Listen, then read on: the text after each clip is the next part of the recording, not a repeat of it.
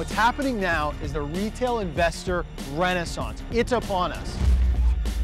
Retail investors, everyday people, customers, fans, followers of businesses, they want and deserve access. That's what's happening right now. We are bringing this show to life because retail investors deserve the opportunity to know that they can invest in startups. The people can participate and start providing an alternative for founders to raise capital. I made history by becoming the second African American woman to trade at the New York Stock Exchange, and certainly the youngest. That's me at 22.